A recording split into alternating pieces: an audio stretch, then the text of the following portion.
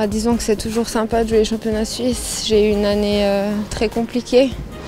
Donc euh, ça fait plaisir de finir l'année euh, avec une victoire et surtout ici parce que j'ai quand même eu de gros matchs, de bons adversaires.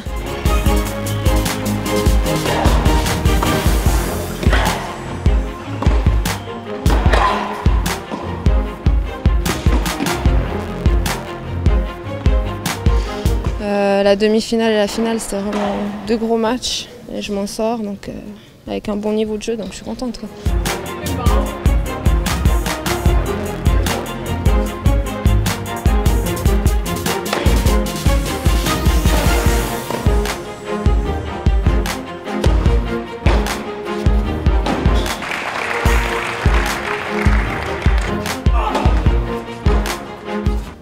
Ich habe hier vier Jahre trainiert in dieser gleichen Halle und äh, ich, ich denke, das hilft schon, wenn, wenn du auf den Platz, äh, Plätzen äh, gewöhnt bist.